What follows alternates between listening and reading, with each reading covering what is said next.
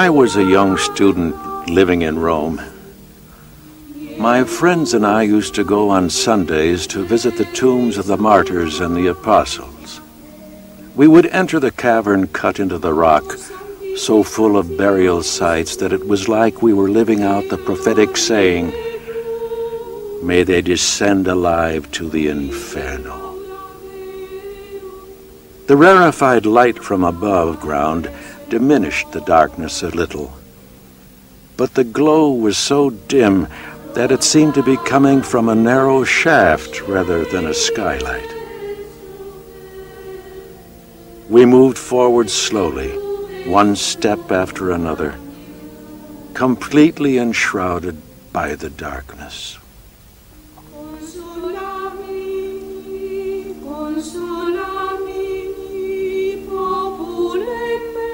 This suggestive description of the Roman catacombs was written at the turn of the fourth century by the great church patriarch St. Jerome.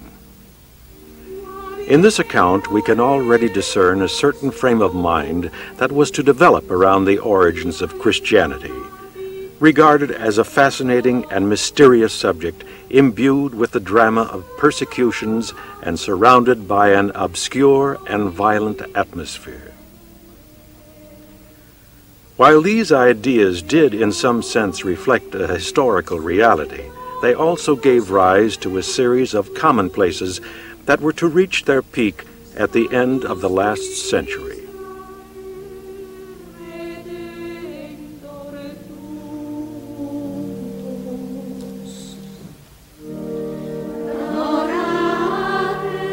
The phenomenon of the persecution certainly represented one of the most pressing and emotive problems for early Christianity, and the worship of the martyrs constituted an irreplaceable cardinal point in the popular devotion of the original church. It also, however, served as a strong emotional cause of mass conversion. By the third century, Ippolito of Rome, speaking of the subject, was already able to note everyone, beholding the bloody end of the martyrs, was filled with wonder, and, in great numbers, inspired by their faith, became themselves martyrs of God. Martyrdom, however, should not be understood only in its dramatic and bloody aspect, but rather as a testimony. The suffering and death of a martyr are the manifestation of the power of the resurrection. For in martyrdom, Christ suffers and conquers death. Just as the concept of martyrdom needs to be modified, so it is generally better to overturn the idea of the early church as being forever buffeted and traversed by agonies and difficulties, and dwell instead on the positive elements that animated and strengthened the faith of the nascent church. If we travel with a less medieval spirit through those same meandering ways of the catacombs, the flickering light of our lanterns will unexpectedly illuminate the decorations in the funeral chambers. Their motif barely essential in form, yet extremely profound in content. Their art is simple, as simple, immediate, and moving as the conversion of the first century Christians who used the burial chambers of the catacombs as if they were dormitories, blessed resting places whilst they awaited paradise. The vaults and walls of the cubicles are decked out in representations of a simple and peaceful paradise made up of peacocks, birds in flight, fountains, a positive world where no upheavals would impair even momentarily the condition of beatified peace. The themes of paradise on the wall frescoes are also to be found on the artwork of the sarcophaguses, depicting in full the details of agrarian life in allusion to the blessed existence of these deceased Christians who appear in these bucolic contexts symbolically represented as worshippers and shepherds.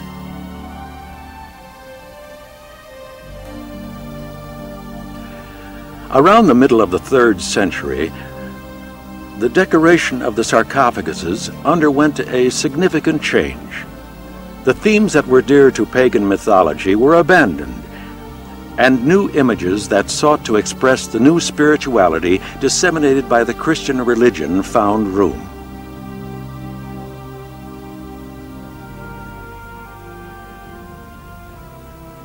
Such imagery is to be seen on the sarcophagus of the Via Salaria, where scenes from the life of the Catechism alternate in harmonious progression with images of the Good Shepherd at prayer. The praying figure captures the likeness of the deceased in an expressive mood, hands outstretched in an attitude of prayer, an attitude identified in the precious testimony of Tertullian the great father of the African church, who, in the second century, drew a splendid parallel in which he compared the flight of birds whose wings stretch out in the form of the cross to the manner in which men pray. The attitude of the man at prayer, however, is meant as more than a request for divine intervention.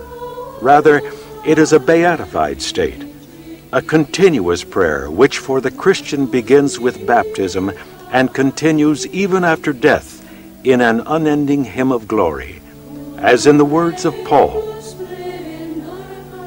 Pray without ceasing, in everything give thanks.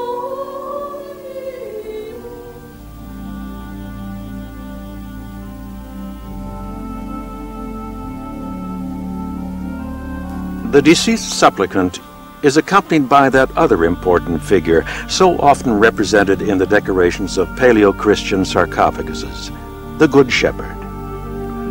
Occasionally, this Christian symbol par excellence occurs in a context which has an undeniably pagan ascendancy.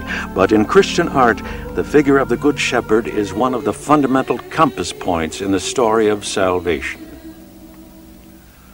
On a sarcophagus from the end of the fourth century, from the site at St. Lawrence outside the walls, the Savior is portrayed in the center of a peculiar apostolic college represented as a flock.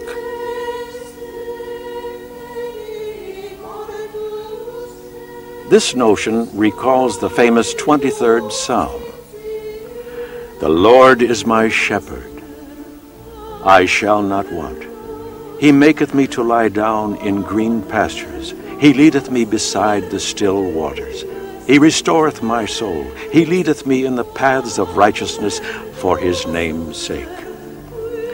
The image of the Good Shepherd, enriched and strengthened through a literature entirely inspired by the Gospel parables and the 23rd Psalm, soon became the symbol of salvation and for this reason may sometimes appear in isolation on the front of sarcophaguses, and sometimes duplicated on the sides. In some exceptional cases, the figure is made to resemble the mythical Orpheus, almost as if the intention were to provide a pictorial translation of a specific excerpt from the great church father Eusebius de Caesarea. If Orpheus could soothe the wild beasts with his lyre, nay, bewitched the very oaks with the charm of his notes, the all powerful Word of God did more. To heal the human mind, he created an instrument with his own hands, the nature of man. And with this instrument, he played an enchanting music by which he charmed and soothed the customs of the barbarians and the pagans, healing the brutal and savage instincts of their hearts with the physic of the celestial doctrine. By the end of the third century, the symbolic images were already being accompanied by more complex subjects like the banquet scene where the table is replete with bread and fish. Seated around it is a group intent on partaking of this mystic fare. These scenes have a very complex significance. If, on the one hand, they allude to the miracle of the bread and fishes, on the other, they can also be understood as referring to the refrigerium, the meal consumed in honor of the deceased, celebrating the anniversary of their death. Obviously, however, the most exalted significance of the figurative scene is to be found in connection with the Eucharist.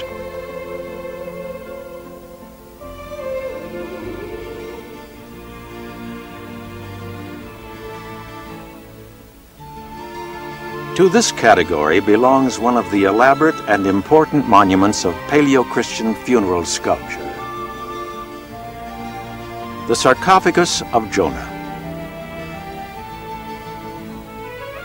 A series of stories inspired by the Bible are arranged on two levels, in which the story of Jonah virtually explodes upon the scene, inundating the entire space with the cycle of events that befell the prophet.